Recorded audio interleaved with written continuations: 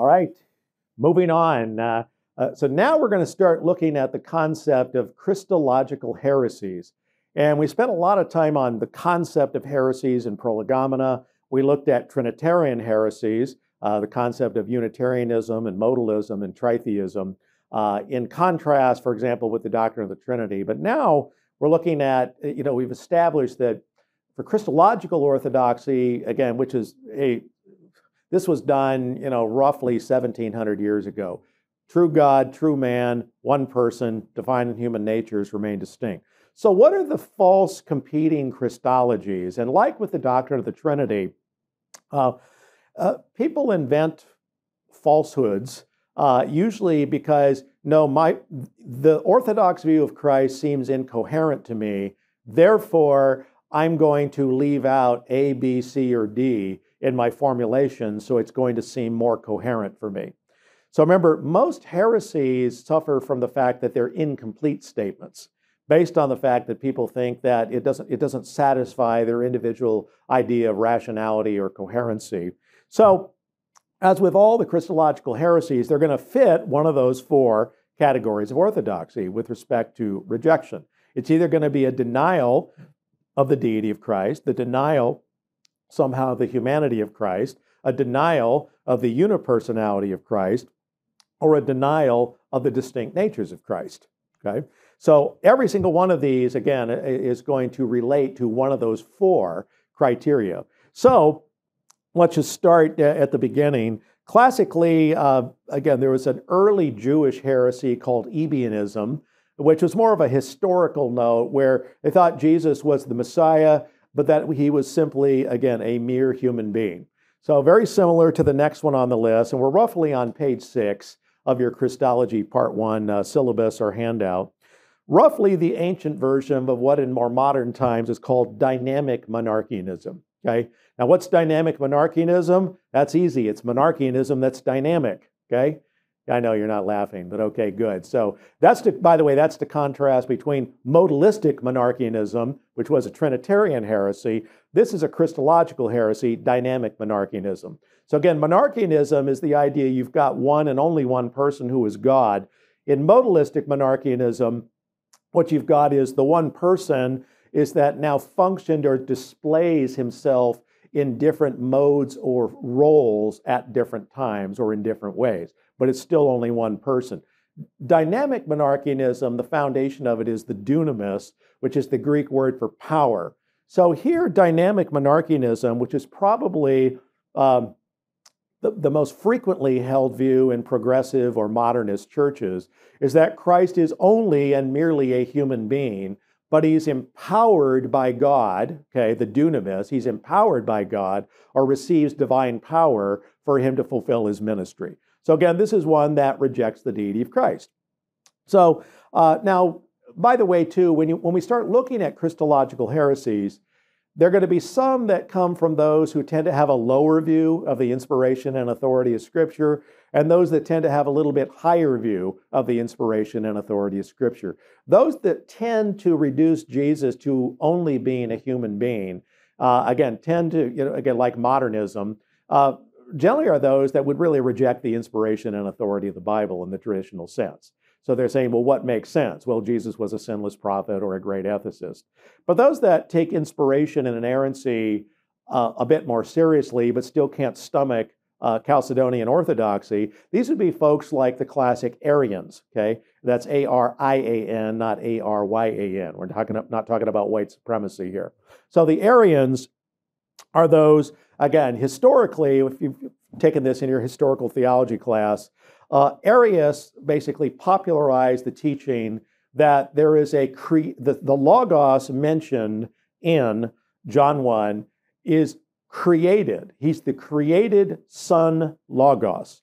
While he's powerful, he's greater than any other created being. He's still the first and greatest creation of God, the most powerful of God's creation. So he's the created Son Logos. Now, the modern Arians, like the Jehovah Witnesses, again, would take that further and just say, yeah, he's the created Son Logos. He is Michael the Archangel, the first and greatest of God's creation. Now, why kick it back a notch from Jesus is just uh, a sinless human being to he's a you know the logos is a the first of God's created mutable beings and is the most powerful. The answer is because it's just crystal clear in Scripture. Looking at texts like the Gospel of John, chapter one, the beginning was the Word, the Word was with God, the Word was God. Oops, right? But the Word became flesh and dwelt amongst us. John 1:14, and we beheld His glory. So the Bible clearly, in many places, has this Son Logos existing as a person before the incarnation. So this is why Arians, who tend to have a, again a higher view of inspiration and inerrancy, but then superimpose their own view of quote rationality, rationality or coherency on the text uh, and the concept, again hold to what they hold. So these are, are the primary heresies that would reject the deity of Christ. Okay.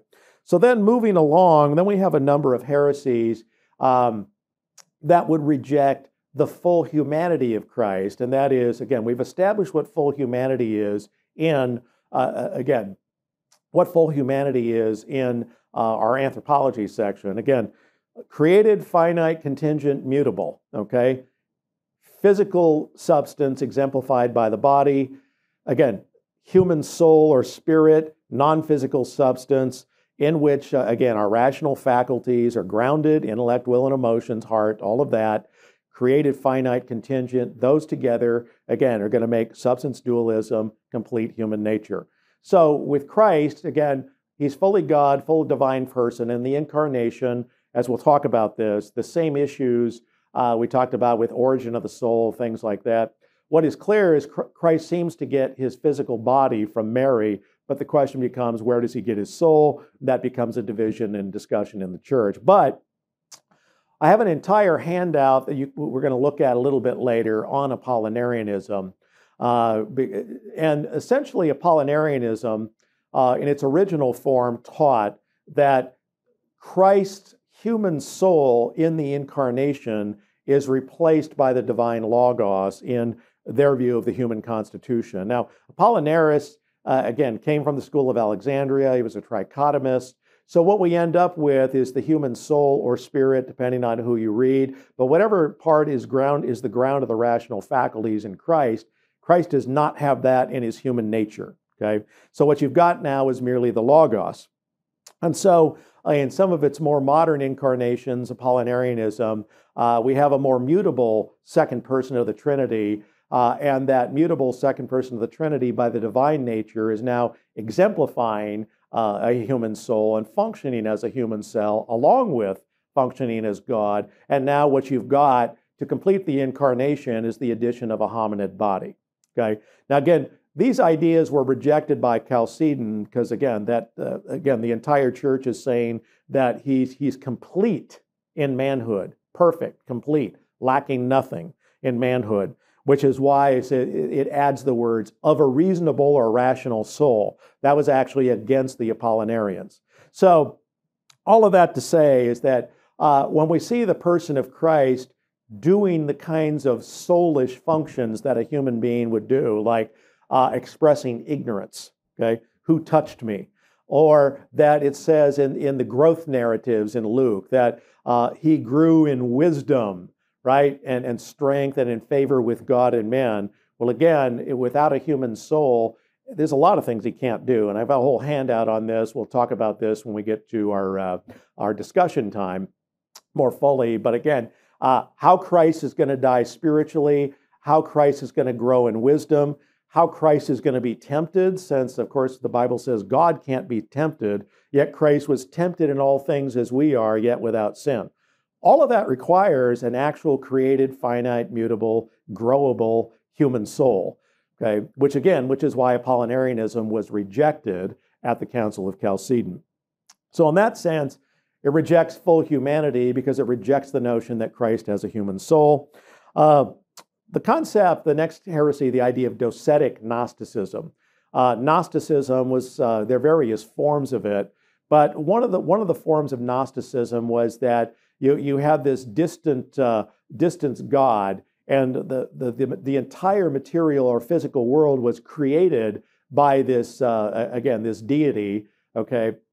And that the goal of human, see, our spark, of uh, who we are, of our soul, is trapped in this evil physical world. So the goal, of course, is to get it, get away from and get rid of our, our attachment to the physical world and get back to this spirit good God. Now, of course, so in the docetic Gnostic view of Christ, the word dokein in, in Greek means to seem or to appear. The argument is, is that Christ only seemed to or appeared to have an actual body. Okay? Why? But, but, but the, see, the Redeemer would never actually take on a physical body, according to the, the Docetists, because that would have corrupted him. So he only seemed or appeared to have a body.